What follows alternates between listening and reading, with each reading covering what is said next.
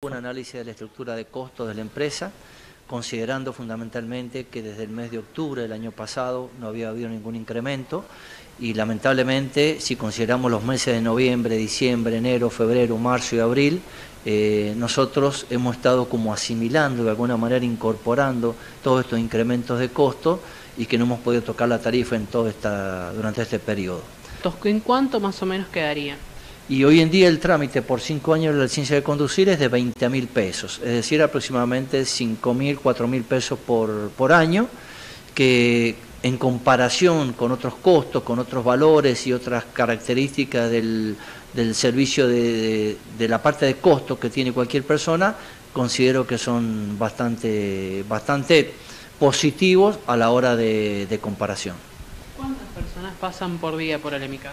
Eso es muy, es muy estacional. En realidad, cuando estamos en periodos vacacionales, por ejemplo, por ahí por los meses de junio y julio, la cantidad es importante. Lo mismo pasa en los meses de diciembre y enero.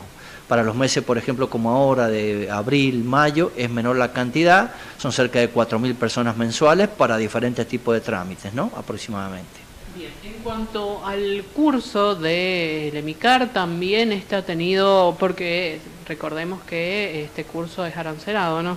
Claro, los cursos para las personas que hacen el trámite por primera vez es un curso arancelado, que también deben hacer otro curso más gratuito de la Agencia Nacional de Seguridad Vial y ese es el que debe presentarse cuando va o a incorporar una, un, una categoría de la licencia de conducir o en su caso cuando va a hacer el trámite por primera vez.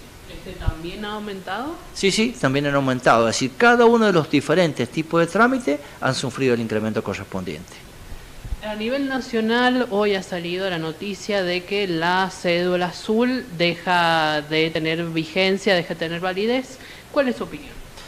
Y yo creo que, a ver, toda medida eh, que se tome respecto a cualquier punto que tiene que ver con la documentación con la que las personas deben circular, debería tener un reemplazo que sea acorde a lo que se ha retirado. Así que esperemos que conjuntamente con esta medida de retirar la tarjeta azul se hayan tomado las medidas correspondientes como para que las personas puedan circular como corresponde, como debe ser, y sobre todo quiero pensar para poder viajar al extranjero, por ejemplo.